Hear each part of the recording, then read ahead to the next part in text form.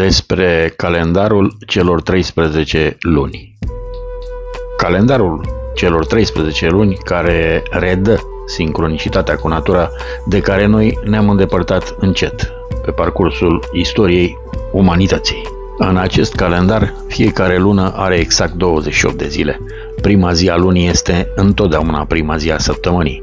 Ultima zi a lunii este întotdeauna ultima zi a săptămânii. Calendarul celor 13 luni este standardul temporal pentru cei care își doresc o lume mai bună, folosit de vechi maiași încă de acum 5.000 de ani.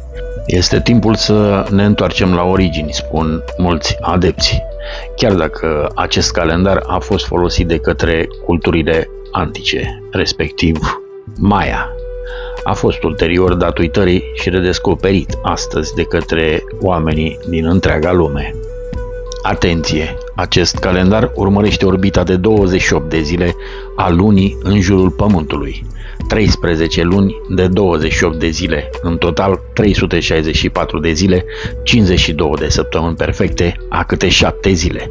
A 365-a zi este cunoscută ca fiind ziua în afara timpului și este o zi în care trebuie să celebrăm pacea și armonia. Sistemul pe care îl utilizăm acum, calendarul gregorian, respectiv cel de 12 luni, a eșuat în a demonstra că este o împărțire potrivită a timpului. Este o concepție limitată despre timp și nu poate fi corelat cu niciun ciclu natural. Este un model artificial prin care interpretăm realitatea, ceea ce i s-a întâmplat omenirii să fie dezarmonizați față de ritmul naturii. Când ne corelăm mințile la acest sistem artificial, nu facem decât să existăm mental și emoțional, precum mecanismul unei mașinării. De ce trăim uh, și am trăit în uh, necunoaștere? Rămâne o întrebare fără răspuns. Cum spuneam mai devreme, am fost mecanicizați. Deci am fost o națiune utilitară pentru că la nivelul nostru de a percepe uh, realitatea existențială nu am putut conștientiza decât subordonarea.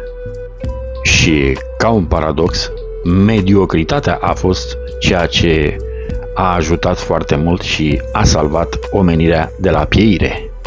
Pentru că un salt în evoluție ar fi însemnat un salt fatal.